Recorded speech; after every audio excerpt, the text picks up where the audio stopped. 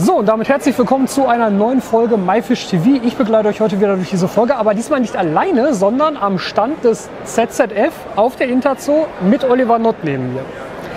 Und du hast nämlich das Netging hier neben uns gerade eingerichtet. Ja. Und das Thema war, wie ist es beim Vortrag? Vertical Garden. Okay, also, also Aquaponik hast du es, glaube ich, auch selbst genannt. Ne? Jetzt sieht man ja, okay, Aquariumteil, darüber große Pflanzenwand. Erzähl mal ein bisschen über das System. Also was tut das überhaupt und vor allem, was gefällt dir da auch dran? Also im Prinzip war ja die, ist eigentlich die Idee, einen einfach pflegt. Also Vertical Garden sind ja so ein bisschen hip ne, gerade, also zu Hause oder in, draußen. Und die Idee ist eigentlich, ein System anzubieten oder zu, nicht zu entwickeln, einfach mal auszuprobieren, wie das sein kann, wenn man die Hauspflanzen, sind eigentlich ganz stinknormale Hauspflanzen, äh, die kommen ja eigentlich alle aus der Tropen, irgendwie kombiniert mit dem Aquarium. Das ist so mal die Idee. Und jetzt einfach ein System zu, auszuprobieren, wo man halt wenig, relativ wenig Stress hat, also auch wenig Arbeit. Und das soll es eigentlich auch mal haben. Ne? Und äh, ja, das ist so mal die Grundidee erstmal. Ja, du hast schon gesagt, ne, also hier so eine, so eine Grünlilie oder sowas, Ja. ne, das hat halt auch jeder irgendwo zu Hause rumstehen. Ja, im Prinzip ist es nichts anderes. Und äh, im Prinzip geht es eigentlich hauptsächlich darum, dass die Pflanzen immer eine Versorgung mit Wasser haben, die aber halt nicht steht. Ne? Also jeder kennt das halt zu Hause, wenn er irgendwie einen Topf hat und, und keinen Untertopf mit Loch. Und da säuft die Pflanze meistens eher, als, als, er- als er gut geht. Und Das ist, so- glaube ich, ein häufiges Problem, dass Leute Pflanzen kaputt gießen, Ja. anstatt dass sie vertrocknen. Ja, ja. Genau, ist genau immer das Gegenteil. Ich hab's ja, ich bin ja jetzt, also ich, nicht, ich, bin jetzt kein, ich habe auch keinen grünen Daumen bei Hauspflanzen.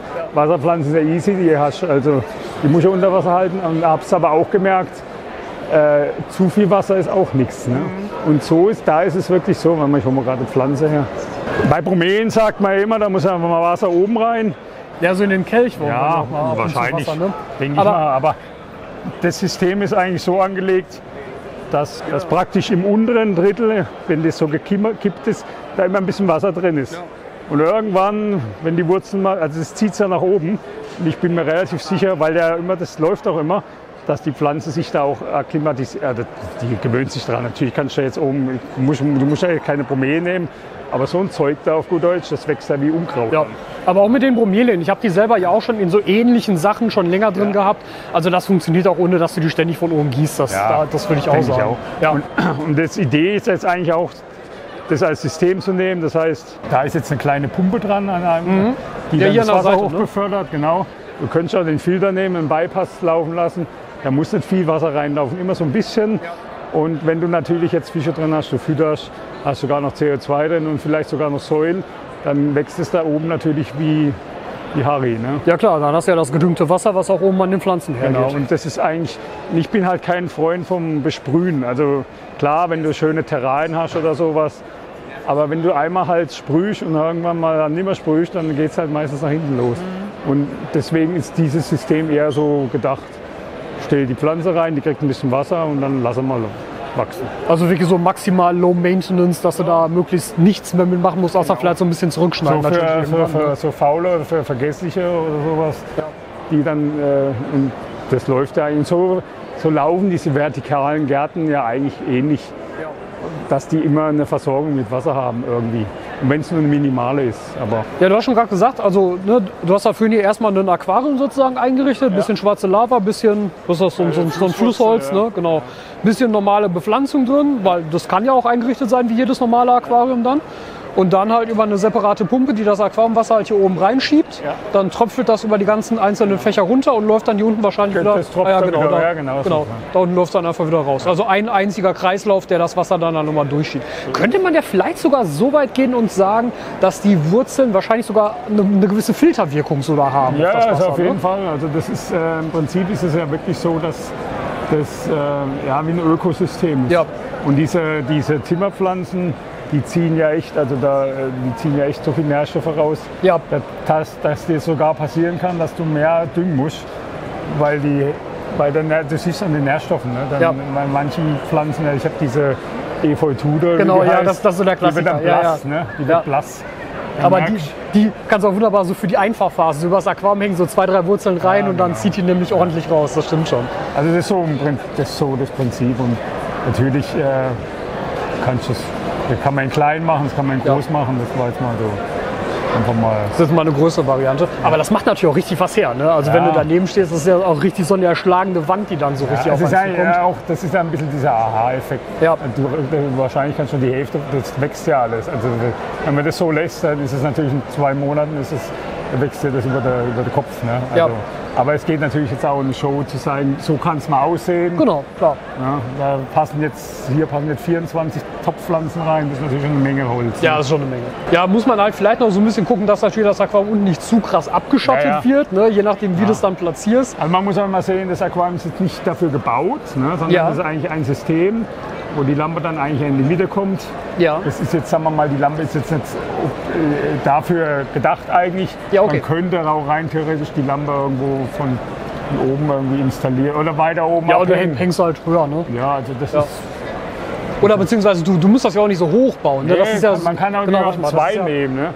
Das sind ja so einzelne Mo Ja, Module hier, ne? Dann machst du halt nur, genau, machst du nur zwei übereinander. Das war jetzt einfach mal. Man muss ja immer ein bisschen übertreiben. Ja, auch so, so auf einer Show soll ja auch sofort gut aussehen, ne? sonst, klar. Äh, sonst guckt ja keiner mehr hin. Ne?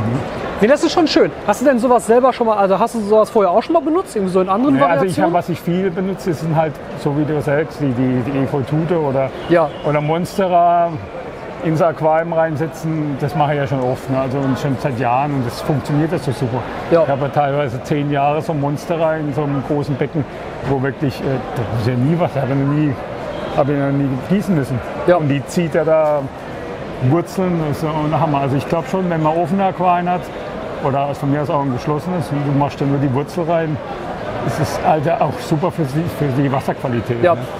Ich habe da auch mal, äh, also, also es war, ich, ich konnte es noch nicht verifizieren so richtig, aber ich bin auch der Meinung, dass wenn du gerade ein frisches Aquarium noch zusätzlich mit so emersen Pflanzen irgendwie bedecken kannst, versorgen kannst, dass das eigentlich die Einfahrphase ein bisschen leichter macht, Ja. weil das super schnell Nährstoffe zieht ich glaube auch, und du echt keine so- Algenprobleme hast. Ich glaube, das biologisch äh, es ist, ich glaube auch solche Wurzeln muss, äh, geben auch äh, entsprechend ein bisschen was ins Aquarium ab. Also das ist schon, ist schon was ein, ein sehr interessantes System, finde ich. Ne? Was mir noch einfällt zum Thema Aquaponik ist ja, dass das mittlerweile auch genutzt wird für Nutzpflanzen. Ja. Ne, dass dann da irgendwie einen Pflücksalat oder sowas. also die Idee ist ja, ich habe ja hier noch Basilikum und so. Also man kann da ja natürlich Kräuter nehmen, klar. Oder also die, nach, die, die Ideen sind da, weil es ja auch jetzt gerade in ist, Petersilie und Kräuter zu pflanzen. Also sowas geht bestimmt auch. Ne? Also, Das ist natürlich spannend, sein Aquarium dann auch so ein bisschen Ja, da um kann- zu funktionieren. Ja, kannst du auch praktisch, wenn du eine Pizza machst oder deine Pasta, dann gehst du in dein Aquarium. Also ich denke, da muss man halt einfach offen sein für neue Sachen. Das Ja. ist ja nichts. Und du kriegst ja da wirklich alles mögliche Angebote inzwischen schon, wo du deine Kräuter selber aufziehen kannst. ja, Und warum sollte man das nicht kombinieren mit dem Aquarium? Also, ja, auf jeden Fall. Coole Sache. Also hat mir auf jeden Fall gefallen. Auch das finde ich super dekorativ, wenn das irgendwo so in so einem Wohnzimmer steht und machst so die Tür auf, gehst rein und du hast da so eine gut Pflanzenwand. Schon fürs, geil. fürs, Ne? fürs Raumklima und auch Ja, total.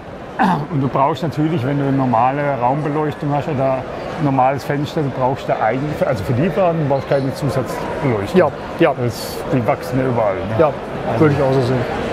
Nee, super. Dann danke einmal für die Erklärung. Und wenn ihr da jetzt natürlich mehr darüber wissen wollt, dann findet ihr unten in der Videobeschreibung noch ein paar weiterführende Links.